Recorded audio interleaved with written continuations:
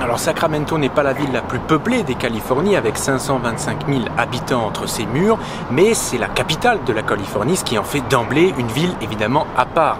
Merci à toutes et tous les amis de regarder cette vidéo d'ores et déjà. Et puis je lance le petit appel habituel, hein, vous le savez, au like évidemment sur la vidéo, aux petits commentaires aussi, n'hésitez pas, vous savez que ça booste le référencement de, des vidéos, ça récompense le travail. Et puis surtout c'est un travail qui est fourni euh, gratuitement. Donc c'est toujours très très sympa et très important.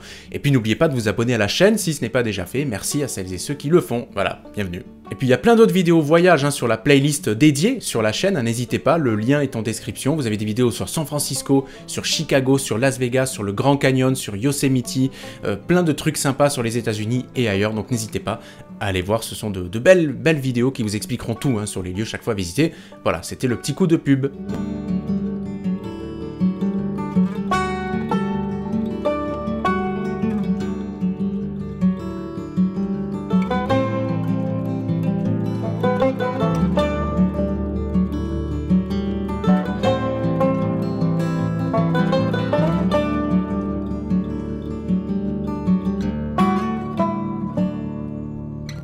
Fondé en 1848 lors de la rue Everlore, euh, Sacramento a connu un développement express grâce au chemin de fer et il n'a fallu que quelques années pour que la ville devienne le terminus du chemin de fer transcontinental. Alors oui, Sacramento n'est pas la ville la plus touristique de l'état de Californie, hein, je vous l'accorde, mais la ville possède quand même quelques merveilles architecturales. On a notamment le, fameux Capitole, le Old Sacramento et aussi le Ziggurat hein, qui se trouve juste derrière moi.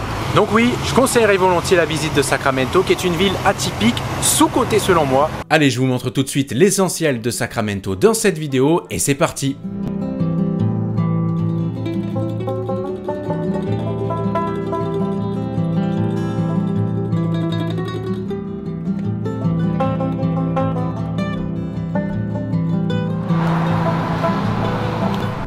Sacramento, qui est donc la capitale administrative, vous l'aurez compris, de la Californie, se trouve à à peu près 1h30 hein, de route de San Francisco, environ 2 heures du Lake Tahoe, euh, Lake Tahoe dont je vous montrerai les merveilles et les pépites hein, dans une prochaine vidéo d'ailleurs, et Lake Tahoe qui marque la, coupure entre la frontière californienne et celle du Nevada. Donc on va commencer tout de suite cette vidéo par la partie un peu plus à l'ouest hein, de la ville et on va se déplacer progressivement à l'est puis faire une boucle pour euh, revenir et commençant donc par West Sacramento. Ici se trouve donc notre hôtel, hein, le Delta King Hotel sur le bord du fleuve Sacramento. C'est peut-être l'hôtel le plus iconique de la ville et c'est ici que j'ai pu loger durant deux nuits avec petit déjeuner compris. Bon cet hôtel est fou hein, les amis, il est idéalement euh, situé puisqu'au bord du fleuve Sacramento, en face euh, de la Ziggurat, hein, dont je vous parlerai dans un instant, et du Tower Bridge, dont je vous parlerai aussi dans deux petites minutes, le Delta King possède une histoire un peu particulière, puisqu'il s'est ouvert euh, depuis 1989, euh,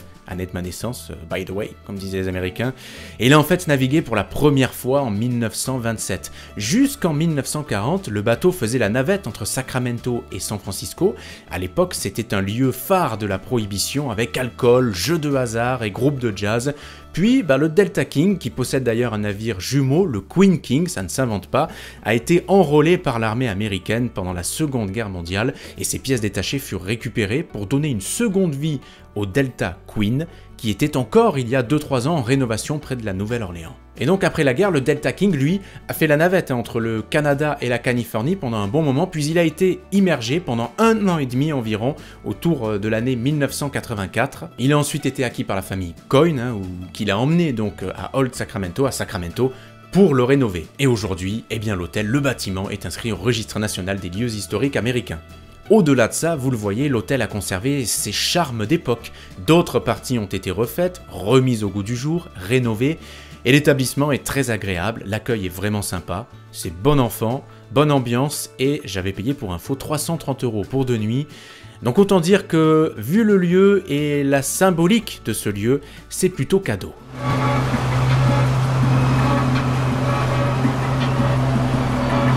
Depuis le Delta King Hotel, nous avons vu sur le Tower Bridge, je vous en parle tout de suite. Le Tower Bridge est une attraction à lui tout seul. Il n'est pas beau en soi, mais je suis toujours quand même assez fasciné, par ce genre de monument. Le Tower Bridge est un, pont levant vertical d'environ 225 mètres de long, construit euh, sous la supervision de l'architecte Alfred Eichler et ouvert depuis 1935. Il est d'aspect euh, art déco, vous l'aurez peut-être deviné, un peu d'ailleurs comme le Golden Gate Bridge hein, de San Francisco. Et s'il était partagé avec le trafic ferroviaire et les véhicules, euh, ben, les voitures, hein, jusqu'en 1963, il n'est depuis emprunté que par les voitures et camions et les piétons bien évidemment. Notons que le Tower Bridge n'a pas toujours eu cette apparence puisqu'il était euh, à l'origine peint euh, de couleur argentée, il n'a pas toujours été doré. Et les piliers, eux, étaient peints en bleu, et eh oui. Donc sa particularité, je le disais, c'est qu'il est un pont levant, mais c'est un système inhabituel. Nous, par exemple, en France, on a l'habitude de voir des ponts levants qui font euh, comme ça, hein. regardez un petit peu, tac. Sauf que lui, ben, en fait, c'est un système d'ascenseur, donc il va monter, monter, monter comme ça.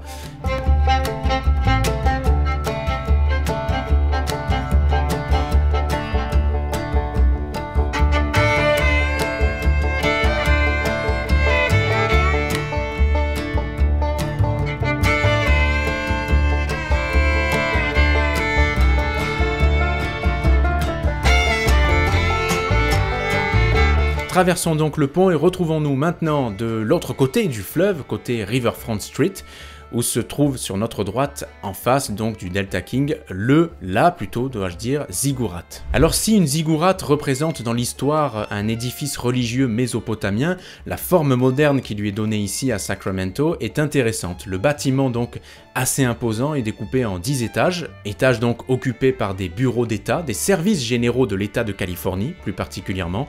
Construit donc en 1997, il était plutôt critiqué à son origine pour sa forme hein, et culmine à 48 mètres de haut. Cette ziggurat, ce ziggurat, dites-le comme vous le souhaitez, on peut le longer en empruntant Riverwalk qui offre aussi un autre point de vue sur le Tower Bridge et sur le Delta King Hotel où on peut croiser quelques écureuils et canards.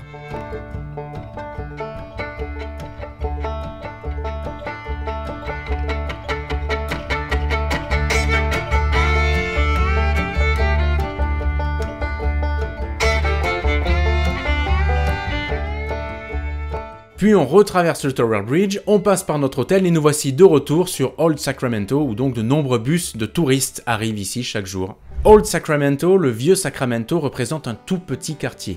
C'est plus un groupement de bâtiments d'ailleurs qui comprend 125 boutiques, restaurants et autres attractions, dans ce qui est une vraie place de front de mer, Old San Francisco rend hommage aux origines de la Californie ici avec la fameuse ruée vers l'or de 1849. Donc les bâtiments que vous voyez sur Old Sacramento ont soit été créés spécifiquement, soit restaurés justement pour recréer un petit peu l'ambiance d'époque. Donc trottoir en bois, calèche, grande rue, je vous promets que vous apprécierez la visite, vous serez vraiment immergé avec cette impression d'être un peu dans un western.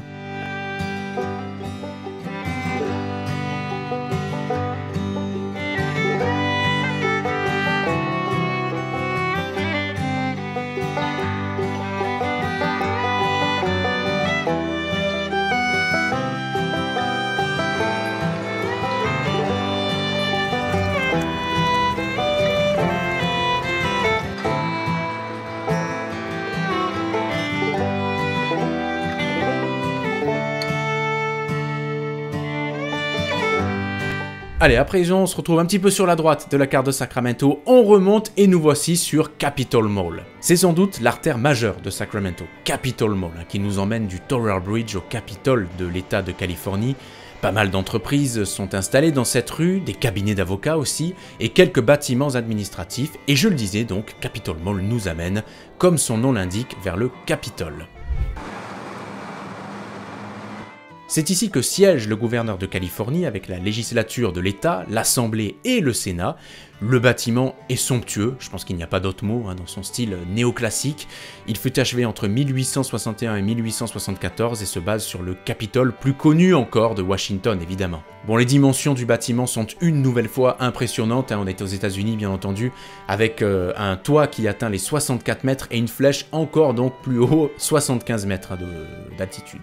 Sur cette place, vous avez le Capitole en face et sur les côtés, vous avez la cour d'appel du 3e district de Californie, l'une des plus importantes juridictions. Et de l'autre côté, vous avez le Trésor de Californie. C'est un petit peu notre Bercy, ministère de l'économie à nous. Deux jolis bâtiments, en tout cas, à photographier. Derrière, on retrouve un très grand parc entouré de bâtiments administratifs, le California State Capitol Park. Un mélange donc de verdure et de grands bâtiments qui nous dirigent donc vers downtown, à Sacramento toujours.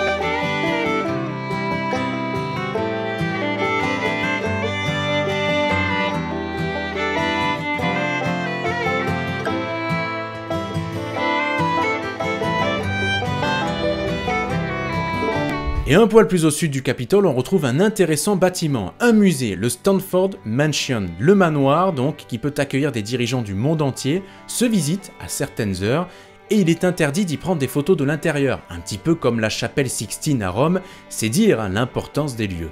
Il a été construit en 1856 au Stanford Mansion et il a même servi de siège à trois euh, donc gouverneurs de Californie euh, autour de la fin du 19e siècle. Et sachez que l'État de Californie en a fait un parc en 1978. Un peu plus à l'est, on retrouve un sympathique parc Fremont Park avec une fontaine d'eau, des jeux et un Starbucks juste en face qui était super pratique pour se rafraîchir, pour se déshydrater un bon coup.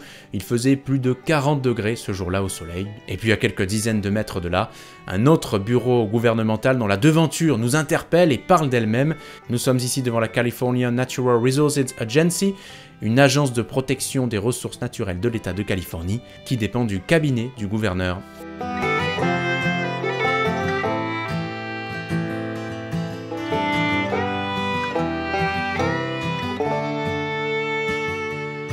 En revenant vers Old Sacramento, on passe cette fois de l'autre côté de Capitol Mall et nous voici arrivés au niveau d'un des points centraux de la ville, le Golden One Center Credit Union, le stade de basketball de la franchise de NBA des Sacramento Kings, jumelé avec le Macy's hein, et le centre commercial Doco, Doco pour Downtown Commons avec donc stade, centre commercial, restaurant. Hein, donc n'hésitez pas à aller faire un tour hein, au Team Store des Kings, la boutique est franchement sympa et le centre commercial plutôt calme hors période de rush est assez agréable. Et puis ensuite on prend euh, ce petit tunnel assez flippant hein, qui fait la passerelle entre Downtown et Old Sacramento et nous voici de retour sur Old Sacramento. Et justement, si vous êtes passionné de train, le California State Railroad Museum est fait pour vous, oui. Le lieu qui accueille 500 000 visiteurs par an est plutôt sympa, puisqu'il vous propose d'embarquer dans des trains d'excursion, des trains d'époque, Problème, attention, l'été où je l'ai visité, il était fermé, c'était peu accessible, les dates étaient très limitées, et en ce moment même, donc au moment donc, où je vous sors cette vidéo, il est encore en rénovation, donc il est très compliqué de le visiter.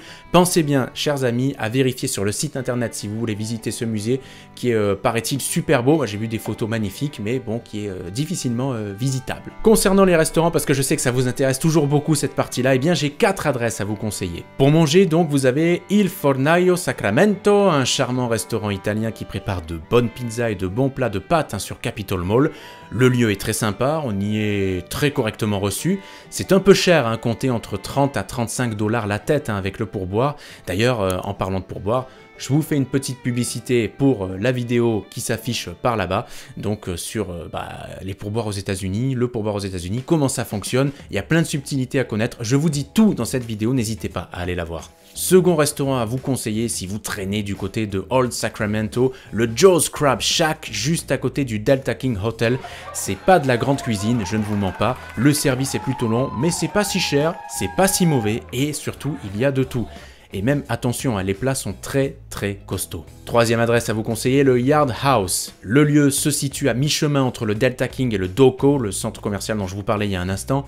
Pour le coup, ils font de super hamburgers, hein. c'est un lieu plein de vie en plus, vous avez des écrans, etc. Il y a du monde, il y a une bonne ambiance. Ils servent jusque tard, et ça c'est plutôt intéressant. Parce qu'il ne faut pas oublier qu'aux États-Unis, les restaurants ferment plus tôt qu'en France, et puis surtout à Sacramento, en plein été, bah c'était un petit peu compliqué pour trouver un endroit où manger. Donc euh, voilà, il y a quelques adresses qui ferment un peu plus tard je vous les conseille. En ce qui concerne les desserts, toujours au Doco, juste à côté de la salle de basket des Sacramento Kings, vous avez un super glacier, le Pop Bar, qui vous prépare des glaces sur mesure délicieuses, super adresse. Et puis juste en dessous, vous avez Estelle, un restaurant français tenu par une américaine qui a tout découvert de la cuisine chez nous, en France, oui.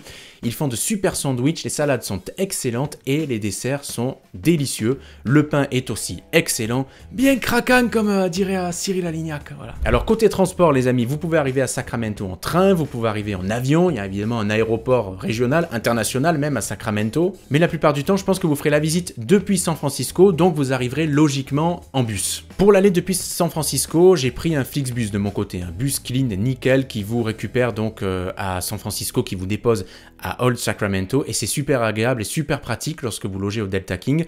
Pour le retour au niveau des horaires, ben, c'était un poil plus compliqué et il a fallu prendre un Uber pour rejoindre la gare routière où se trouvent les bus de la Greyhound Lines et là Là, la fréquentation n'est plus tout à fait la même. Il y a de tout. Hein. Vous avez des couples, des travailleurs, des voyageurs, mais vous avez aussi malheureusement quelques toxicomanes. On sait bon que, je l'ai déjà dit dans une vidéo, notamment sur San Francisco, que les États-Unis c'est un pays magnifique, que je chéris vraiment, euh, j'ai pas envie de dire par-dessus tout, mais presque, mais qui broie véritablement euh, les gens. C'est un système très très dur, très difficile, et vous avez beaucoup de gens qui sont un peu dépravés, qui sont livrés à eux-mêmes, hein. ce n'est pas forcément leur faute, et donc vous vous retrouvez un peu à cohabiter avec ces personnes-là, notamment sur la, gare routière, il y en a aussi pas mal à, Sacramento de manière générale, mais bon, ils vous embêteront pas, ils vous feront pas de mal, il faut pas que vous soyez euh, dérangé par ça, apeuré par ça, par contre vous serez sûrement euh, peiné de voir ça, évidemment, hein, toujours.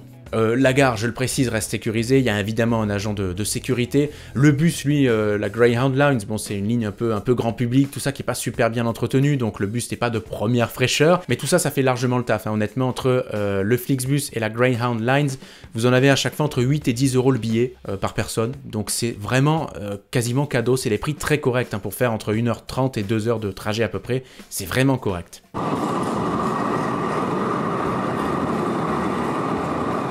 Voilà, chers amis, cette vidéo de Sacramento touche à sa fin. N'oubliez pas le petit pouce vers le haut, le commentaire, l'abonnement à la chaîne. Mon petit mot euh, à la fin, bon, euh, sur cette euh, ville de Sacramento, qu'est-ce que j'en pense? Je pense que c'est une ville qui est sous-cotée. Sincèrement, elle est à visiter. Hein. Si vous passez par la Californie, alors si vous êtes du côté de San Francisco, vous serez plus peut-être tenté de visiter Oakland, de visiter San Jose. Mais je pense que Sacramento vaut le coup parce qu'il y a des bâtiments qui sont magnifiques. C'est mine de rien la capitale de la Californie. Après, je vais pas vous mentir, si vous la visitez en plein été, c'est à double tranchant. Moi perso, j'ai apprécié, mais ça peut être un petit peu euh, curieux, bizarre. C'est vrai que en plein mois d'août, la ville est déserte. Euh, le matin, l'après-midi, le soir, la ville est littéralement déserte. Vous croisez peu de monde. C'est top hein, pour visiter certaines choses. Hein. Vous serez tout seul, vous serez pas embêté pour euh, certaines attractions, ça c'est génial. Moi personnellement j'ai apprécié parce que en venant directement de San Francisco, où là il y avait du monde partout, bah, tu débarques à Sacramento et euh, bah, c'est le jour et la nuit. C'était franchement agréable pour le coup. Après, c'est une ville où il fait chaud. Euh, il faisait plus de 40 degrés euh, quand j'y étais. La semaine suivante, heureusement, je n'y étais plus du coup, il faisait 47. C'est un désert, hein, Sacramento. C'est super chaud l'été. Donc si vous n'êtes pas très chanceux, que vous tombez dans une période où il fait extrêmement chaud, la visite en prend un coup quand même au niveau de l'échelle du agréable. Voilà.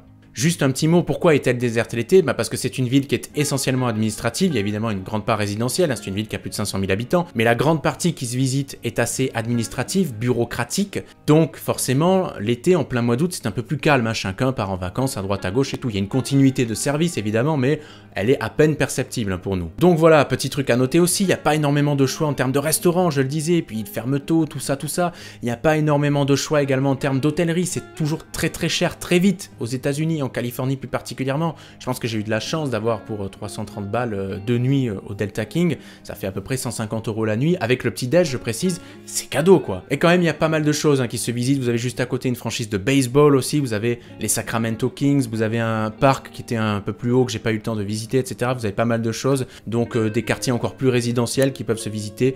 Il y a des trucs assez sympas. En 2-3 jours max, c'est plié. Sacramento, je vous dis en 2-3 jours max parce que bah oui, s'il fait super chaud, vous n'allez pas passer toute la journée dehors, vous serez crevé littéralement, vous allez cuire sur place, hein, c'est pas un mythe, donc euh, faites attention. voilà, j'espère qu'en tout cas cette vidéo vous aura plu. Je renouvelle mon appel au pouce, aux commentaires, à l'abonnement. Merci à toutes et à tous en tout cas de me suivre dans les aventures. Il y aura d'autres vidéos sur les États-Unis, d'autres vidéos voyage. N'hésitez pas à aller voir le lien avec la playlist. Petit à petit, elle se garnit de vidéos voyage. Alors ce sont des vidéos, mais j'ai euh, la fausse modestie de dire que ce sont euh, des documentaires, parfois hein, même de beaux reportages en tout cas à tout le moins. Voilà, je me casse bien la tête pour ces vidéos voyage et j'espère que vous prenez du plaisir à les regarder que je vous aurai donné des infos très sympas. Je vous dis à très vite pour de nouvelles aventures. Prenez bien soin de vous, faites attention à vous, bon courage si vous bossez et puis profitez bien si vous êtes en vacances ou en congé évidemment. Ciao ciao